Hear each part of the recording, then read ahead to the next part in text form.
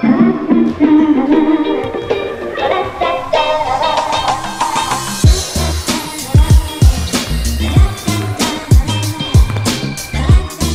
here to play uh, Boise Parks and Rec three on three basketball.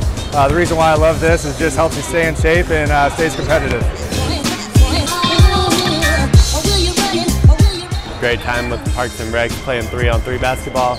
It's a good time, good basketball, fun stuff.